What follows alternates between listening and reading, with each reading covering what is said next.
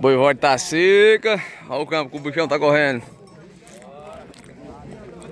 Tá meio verão, vice. Tá meio verão, tá meio seco. O coco aqui é meio seco.